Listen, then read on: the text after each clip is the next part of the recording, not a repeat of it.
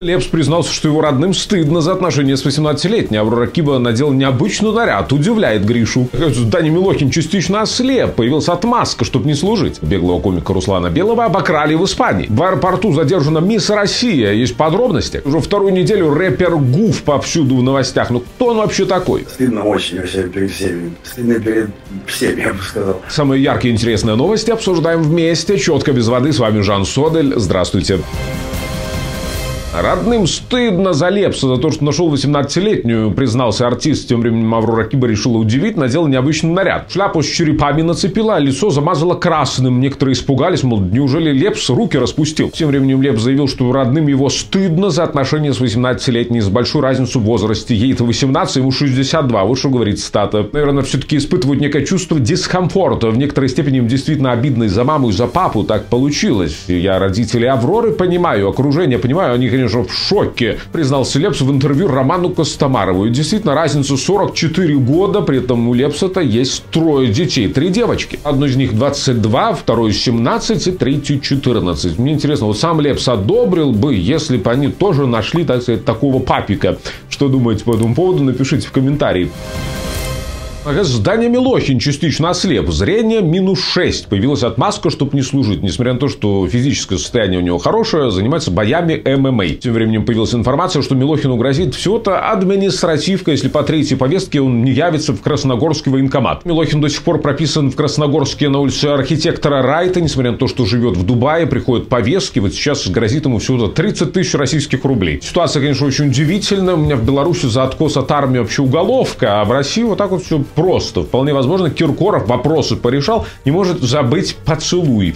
Что думаете по этому поводу, напишите в комментарии беглого комика Руслана Белого обокрали. Говорит, сходил в бассейн и пропали кроссовки. Хорошо, хоть не трусы. Но он подумал, что мыли пол, куда-то их переставили, но нет. Был и стендапер также сравнил менталитет испанцев и россиян. Говорит, что испанки взрослые красятся, собираются, чтобы люди выйти, где-то там отдыхают в обществе, да, а вот россиянки якобы не следят за собой, просто сидят, смотрят телевизор. Руслан Белый критиковал операцию еще на самом старте, ну то и понятно, несмотря на то, что в России он себе сделал карьеру, а родом-то из Чехии, то есть вполне возможно, корни его тянули. И действительно, получается, что скорее за разъединение, чем за объединение и за введение всяких заборов и виз.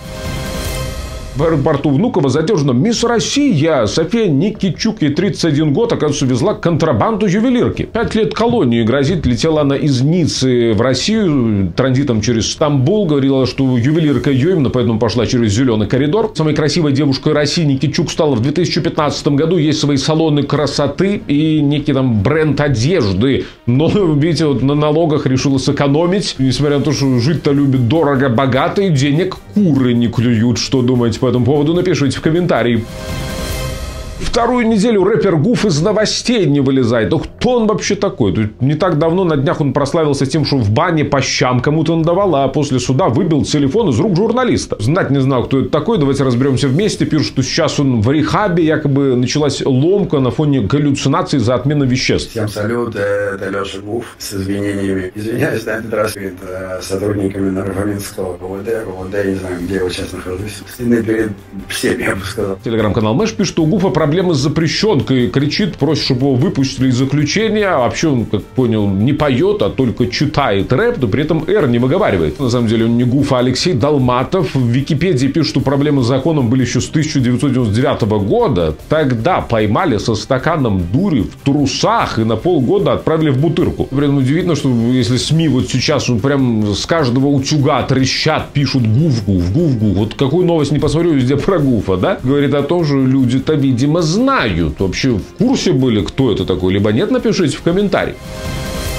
Такие вот новости, друзья. Что думаете о разнице в возрасте Лепса и его избранницы? 44 года нормально ли это? Или уж дурной пример подает и обществу, и своим-то дочерям? Как вам Даня Милохин? Выходит плохое зрение, намекает, что служить нельзя. Ну, и согласитесь, горели бы глаза, было бы желание. Коррекцию можно сделать. Какие мысли о мисс России? Не знаю, как вы, ну, меня уже попутались они все на одно лицо, эти красотки. Знали ли Гуфа изо всех щелей новости о нем? По факту это no name. Опять-таки, комик Руслан Белый. Кто кто это вообще такой? Вот, честно, ну, не было времени у меня на камеди клабы всякие. Я, правда, вот Галыгина смотрел. Обязательно свою позицию оставьте в комментарии. Любые мысли, не стесняйтесь, пишите. Полная свобода слова, полная демократия. Конечно, оцените видео, чтобы его увидели другие. Подпишитесь на канал, вместе обсуждаем самые яркие темы. Можете в соцсетях на меня подписаться, ВКонтакте, в Инстаграме, в Телеграме, в ТикТоке. Ну и поддержать канал, номер карты ссылка на донат в описании под видео.